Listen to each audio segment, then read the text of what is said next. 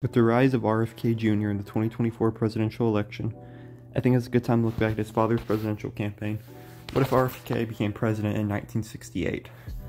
RFK ran for president in 1968 and was assassinated infamously by Sirhan Sirhan. Let's say Sirhan misses the shot and RFK survives and eventually wins the primary, beating Johnson ally Hubert Humphrey. RFK narrowly beats Richard Nixon due to his support among youth voters and the revelation of Nixon's television peace talks in the final days of the race, Hibbs gives RFK the win.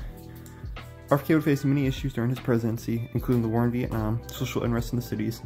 RFK pull out entirely but begins to bring the troops home very slowly under much criticism from both parties. RFK also attempts to pass bills such as the ERA, but due to conservatives in both parties it fails. The EPA still passes along with the Clean Water Act, which Nixon vetoed in our timeline.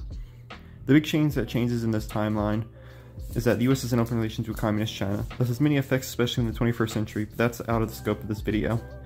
RFK runs for re-election in 1972 and faces many Republicans, including Gerald Ford, George Bush, and, most notably actor Ronald Reagan.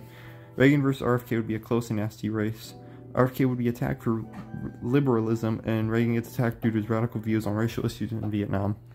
What many see as repeated in 1964, Reagan probably loses due to his radical views on issues such as race and foreign policy. This removes Reagan from being president, which has many changes to our world. RFK's second term is hard to predict, but expect the Vietnam War to be an even bigger issue than ever.